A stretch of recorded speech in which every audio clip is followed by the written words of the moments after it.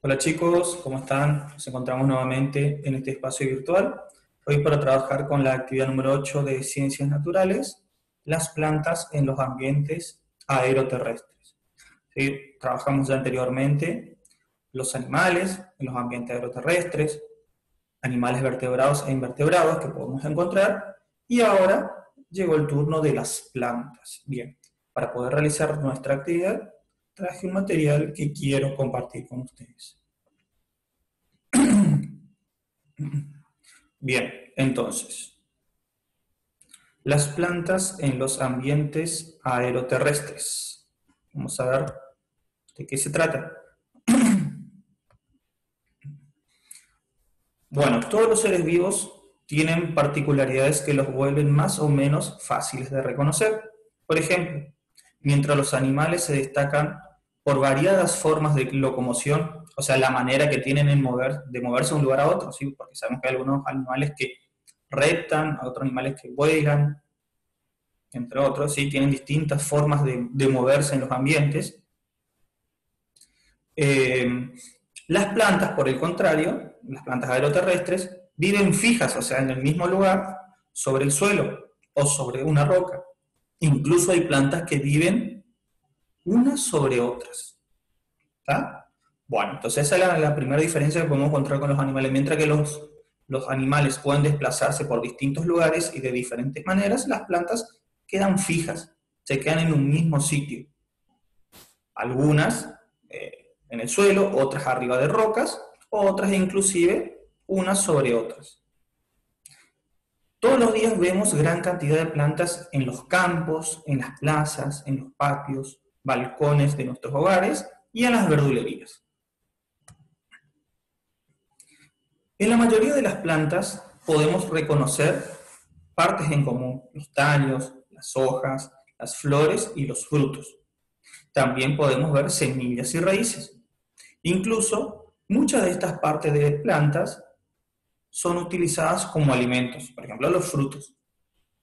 A partir de los tallos podemos clasificar las plantas en árboles, arbustos y hierbas.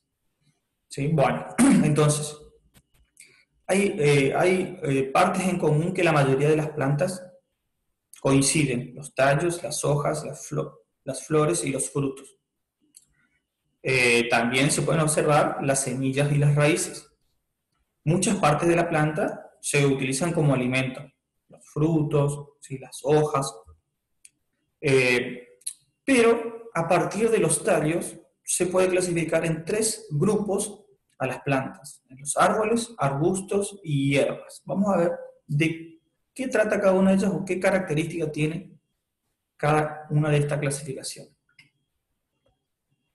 Bueno, los árboles tienen un tallo duro, fuerte, o un tronco principal a partir del cual nacen otros tallos o ramas más pequeños. Entonces, esa es la característica de tienen tallos, tienen un tallo duro o un tronco principal que es el que le da sostén, a partir del cual nacen otros tallos o ramas más pequeños. Bueno, esa es la característica entonces de los árboles. Arbustos, fíjense, ahí ya enseguida nos damos cuenta, son más bajos que los árboles y tienen varios tallos duros que nacen a la misma altura con respecto al suelo. ¿Sí? Entonces ahí tenemos la característica, son más bajos que los árboles. ¿Sí? Eso hay que tener en cuenta. Son, entonces los arbustos son más bajos que los árboles. Y tienen varios tallos duros que nacen a la misma altura con respecto al suelo. Bien. Hierbas son de poca altura, son bajas y tienen múltiples tallos finos, blandos y cortos. Por ejemplo, el pasto. Si el pasto es una hierba. Bueno, entonces ahí tenemos, reubinamos una vez más la clasificación. Entonces, las plantas, teniendo en cuenta sus tallos, se pueden clasificar en árboles, arbustos y hierbas. Los árboles tienen un tallo duro o un tronco principal a través del cual nacen otros tallos o ramas más pequeñas. Los arbustos son más bajos que los árboles y tienen varios tallos duros que nacen a la misma altura con respecto al suelo. Y las hierbas son de poca altura y tienen múltiples tallos finos, blandos y cortos. Por ejemplo, el pasto. Bien. Con esta breve explicación vamos a ver cuál va a ser la actividad que vamos a realizar en el día de la fecha.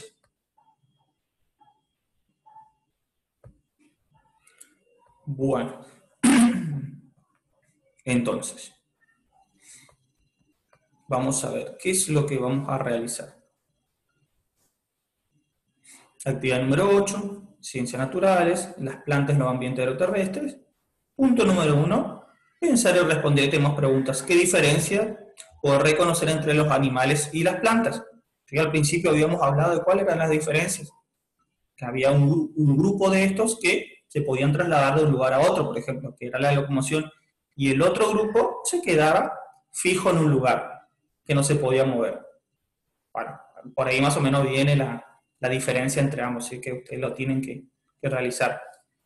La pregunta B, ¿en qué lugares podemos encontrar plantas? ¿En qué lugares? Habíamos visto distintos lugares de ejemplo. Bueno, eso tienen que colocar y completar. La siguiente pregunta, ¿qué podemos reconocer en la mayoría de las plantas? Habían características comunes en las plantas, que las fuimos describiendo también al principio. Bueno, tienen que anotar ustedes. D, ¿cómo podemos clasificar a las plantas teniendo en cuenta sus tallos? ¿Cómo se clasifican las plantas? En tal, tal y tal. Había tres clasificaciones generales. Está relacionado con el siguiente punto también. Punto número dos, completar el cuadro con las características que corresponden. Y entonces acá ponemos las características de los árboles. ¿Qué características tienen los árboles? Bueno, lo anota. ¿Qué características tienen los arbustos? Y qué características tienen las hierbas. ¿Sí? Recuerden que cada uno tenía su característica diferente. Bien, ustedes tienen que completar con... Eh, ahí ya lo habíamos hablado en la explicación. Bien, entonces con eso tienen que completar. Punto número 3, dibujar dos ejemplos. También podés pegar imágenes. Si aquellos que trabajan en forma virtual, eh, recortan, eh, copian y pegan eh, en, la, computadora, así pueden bajar las imágenes. O aquel que trabaja en su carpeta también. Si nos quiere dibujar, sacan fotocopia o pega también. si quieren imprimir el dibujo no hay problema. ¿sí? O sea, tienen las dos opciones o dibujan lo que trabajan con su carpeta o pegan, o aquel que está en forma virtual, bueno, ya sabe que copia y pega las imágenes. Bueno, entonces, dibujar dos ejemplos, dos ejemplos de árboles, dos ejemplos de arbustos, dos ejemplos de hierbas. Dos ejemplos cada uno, o sea, van a ser seis dibujos en total. Bien. Punto número cuatro, leer atentamente el siguiente relato y luego responder la pregunta.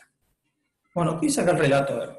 La señora Graciela tiene un jardín del que se siente orgullosa. Todos los días cuida de sus plantas. Procura regarlas cuando no llueve y corta el pasto cuando crece mucho. Su planta preferida es la aljaba, que tiene un metro de altura con varios tallos duros. Son un metro, no es tan alto. hermosas flores colgantes de color violeta y fucsia las cuales, eh, las cuales salen en primavera y son visitadas por los colibríes, pajaritos. En el centro del jardín hay un palo borracho, es una enorme planta, es un árbol grande, de 12 metros cuyo tronco se parece a una botella. Prestamos atención a este breve relato y contestamos. En el relato se mencionan un ejemplo de árbol, un ejemplo de arbusto y un ejemplo de hierba.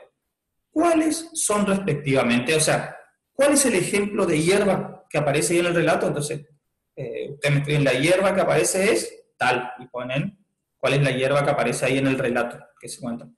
Eh, ¿Cuál es el ejemplo del arbusto? ¿Cuál es el arbusto que aparece ahí? El arbusto que aparece es tal. Y el otro es ¿cuál es el árbol que aparece? El árbol que aparece es tal. O sea, ponen el nombre porque están los nombres de cada uno ahí y después expliquen su respuesta. O sea, por qué es hierba, por qué es, con su palabra más, de acuerdo a lo que fuimos entendiendo, por qué ustedes consideran que eso es una hierba, por qué consideran que eso es un arbusto y por qué consideran que eso es un árbol. ¿Está? Nada más que eso. Y bien, y con eso eh, finalizaríamos el deber del día. Va a estar el foro para que ustedes puedan dejar sus comentarios, consultas, dudas, inquietudes y demás. Subir las imágenes o fotos. Va a estar también el espacio para subir los archivos y sus tareas.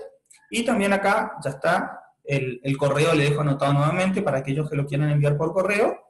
lo pueden hacer, no hay problema. En vez de, subirlo al archivo del aula virtual, lo envían por correo, no hay ningún problema. Ahí está el correo, eh, primariacsa2020.gmail.com para que también lo puedan enviar. Tienen todas esas opciones. Recuerden que no es necesario enviar por varios lugares. Si yo ya lo envié al aula virtual, no hace falta enviar por correo y viceversa. Si lo envié por correo, ya no hace falta subir al aula virtual. Está ahí todas las consultas, las preguntas, las inquietudes, las dudas, me, me lo van transmitiendo, no hay ningún problema. ¿Estamos chicos? Bueno, eso es todo por hoy, nos veremos entonces en la próxima clase. Cualquier duda, ya saben, me, me escriben, me consultan, no hay ningún problema.